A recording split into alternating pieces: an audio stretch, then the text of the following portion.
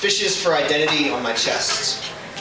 Tucked under a mixed family, it dangles like a worm on a hook under American waters. David, you've become a constellation we no longer strain to see.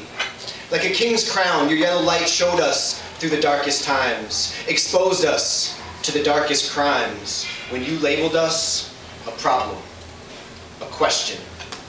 They answered with genocide, another problem, another question. They answered with atomic bombs, more problems. We stop asking. And instead promise never again. We lie. Dead. As our babies boom. Might as well drop them out of the planes. It makes as much sense as cartoons, as war propaganda. Dear David, they gave you a nation, but what did you say?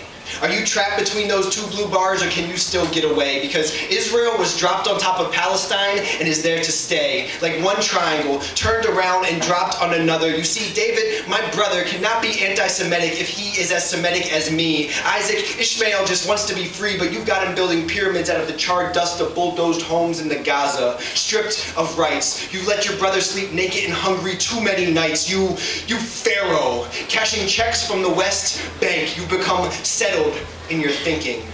Unlike your Torah, you do not move. You have not turned. You, you six-sided sinner. You, you blind Goliath. You have a hexagon center that points nowhere but inward. What are you looking for out in that desert? Is it another ghetto? Are you somehow jealous of the swastika's popularity among disaffected youth? I mean, mm. are you trying to be a badass? Or are you just an abused child, now grown up and molesting your nephew and calling him names. Dear David, our homeland is neither our home nor our land. Just like the Christian right is neither right or very Christian. Mm. And you, my symmetrical friend, represent me no longer. You are a problem, a question. You answer with violence, repression. More problems, more questions. Your jagged corners do not know how to answer. How ashamed you've made us. I used to cover all my notebooks with little pictures of you.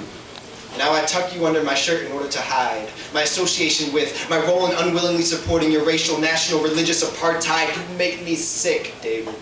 Oceans away, you fish for identity on my chest reminding me who I am because of how you can't be, reminding me where I come from by showing us where we can't go. You are a fallen star, not lucky nor bright. Yet I still see myself in you far too often like some birthright trip to hypocrisy from Crofton, Maryland, because all I can say is never again as I tuck my necklace away and pray that we end this oppression.